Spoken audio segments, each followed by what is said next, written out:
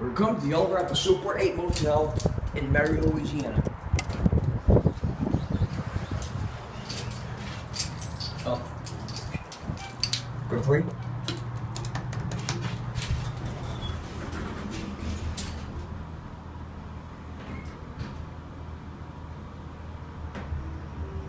This is Montgomery elevator.